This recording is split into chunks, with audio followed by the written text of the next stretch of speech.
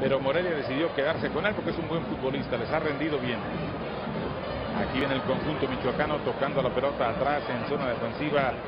Ahí la está bajando Jorge Valadez, este chamaco que es de Guanajuato. Guanajuato.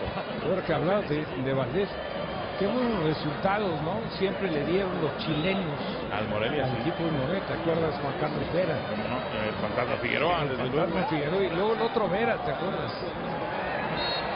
Juan Carlos. un volante de contención, bajito él. Ah, chaparrito. Y vení- vinieron dos uruguayos, Julio César Núñez y José Luis Cáceres, un central fornido, fuerte, que también le ¿Y dieron te, buenos y te acuerdas resultados. un portero chileno que tuvo? ¿Quién era? Morelia, Letelier. Letelier. De él no me acuerdo, me acuerdo de Walter Burgues, pero él Ah, era claro, uruguayo. no, ese era uruguayo.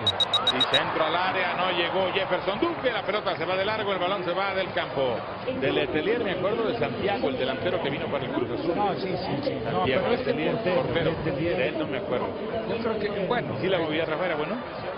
eh, era un, vaya, un portero cumplidor. Y lo que pasa es que tuvieron ahí, bueno, ah, después del Letelier, la Ferencia y eso también, muchos años como portero de Morelia, Madrigal. Félix Madrigal. El Zuli Ledesma El Zuli estuvo de prestado ahí y ¿sabes quién también? Estefano Rodríguez. Estefano Rodríguez. Estuvieron prestados por Chivas ahí. Pero Félix Madrigal era el portero del Morelia desde que estos estaban en segunda división. Buen portero, Félix Madrigal.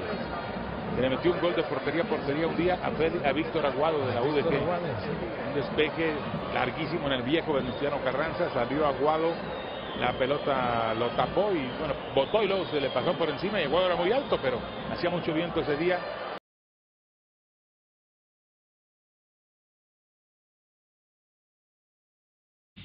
Sí, tiene que estar más concentrados. La, la segunda es que le pasa ya. Se le fue el balón al fondo con gol de Félix Madrigal. Un día lo saludé ahí en el estadio de Morelia, Rafa, y le preguntaba, ¿de dónde queda el palco de prensa? Y me decía así, mira, para allá. Y no sabías para dónde, porque tenía desechos, Desechos, como los porteros de Mollería. ¡No, balazo que rebota en Achillier!